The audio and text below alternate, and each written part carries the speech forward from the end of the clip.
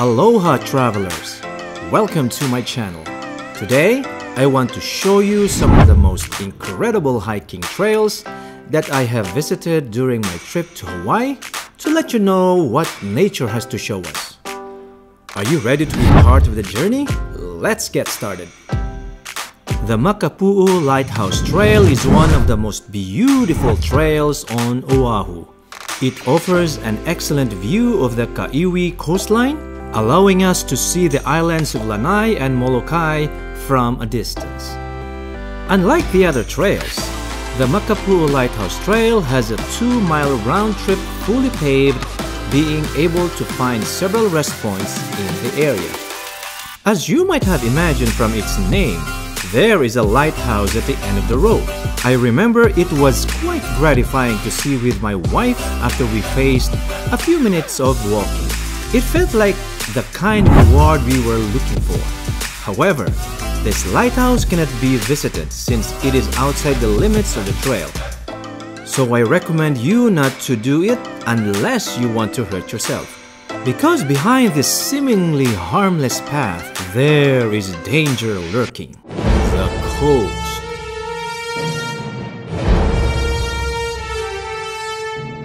Still, Makapu'u Lighthouse Trail is one of the best trails we have the opportunity to see. It's an easy trail to hike. It's short and the views are incredible. So we would definitely visit it again. Diamond Head is one of the most iconic volcanic formation in all of Hawaii. This 1.6 round-trip length trail includes two staircases with a total of 175 steps, plus some underground tunnels, making your visit feel more like an adventure. What surprised us the most about this place was the number of visitors we came across during our trip. The Diamond Head Crater Trail is one of the busiest trails in Hawaii, being very popular with tourists. If you want to enjoy this tour without having to navigate through a sea of people, it might be a good idea to visit it during the early hours of the day or before it closes at 7 p.m. This trail offers one of the most incredible views I have ever had a chance to witness. From the beauty of the ocean at the Waikiki Beach to the grandeur of Honolulu, we have fond memories of this trip. Climbing to its summit was fun, but somewhat exhausting experience due to the steepness of the road and the narrowness of some sections. So it is recommended to wear comfortable shoes and drink a large amount of water when visiting.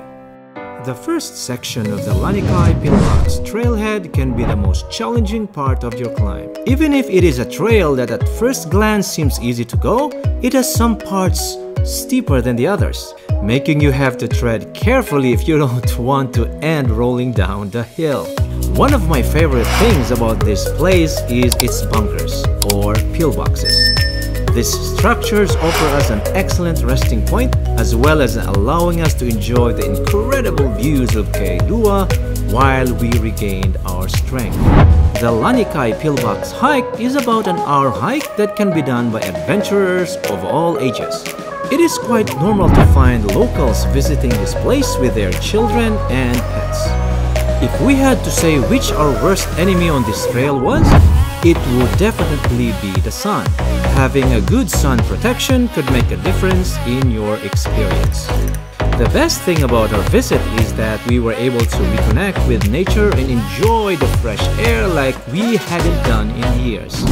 With its panoramic view of the three beaches and an incredible fun trail ready to be hiked, you need to visit Lanikai Pillbox Trailhead at least once in your life.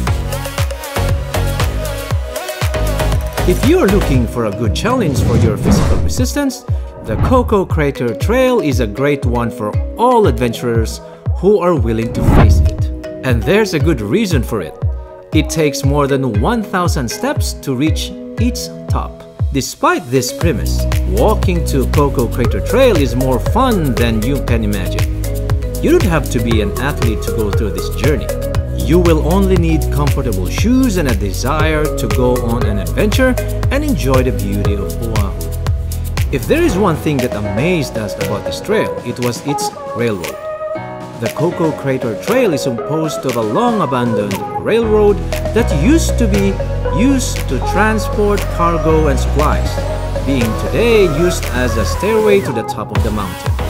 Unlike other hikes, it is easy to find a trail that leads up to the mountain.